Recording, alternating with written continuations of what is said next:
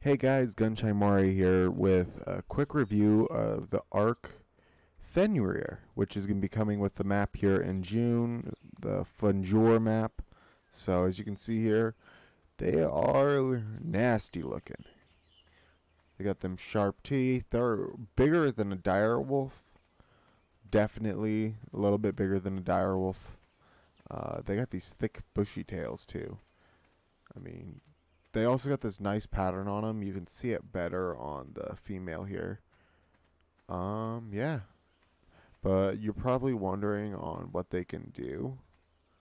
And what they can do is if I hit left on my mouse, they bite. If I hit right, he does another bite.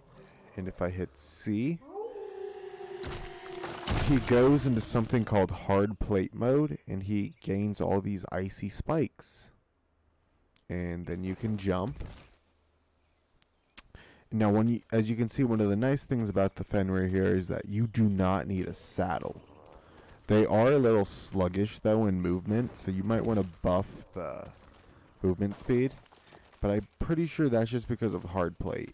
Yeah, they move a little bit faster once you turn off the hard plate, but once hard plate's on,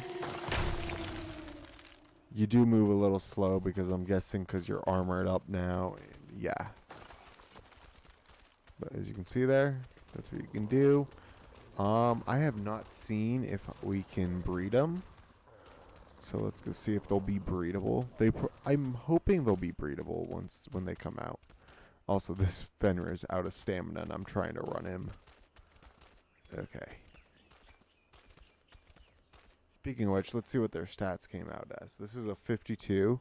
He's got 2,000 health, uh, five or almost 600 stamina, 200 oxygen, uh, almost or 350 food, uh, or 3,500 food. They got 348 weight, and then melee is 172. You're probably gonna want to buff those with those. But let's go here and see they're we can mate them. And looks like they are. That is actually pretty awesome. So hopefully they don't get changed up too much. Most uh, mostly what's going to probably get changed when they get added in is balancing. So all that. Pretty sure they'll be breedable because they are not that OP. Uh, but yeah, that was the Ark Fenrir review of the Fenrir. So yeah, let's uh let's call it that and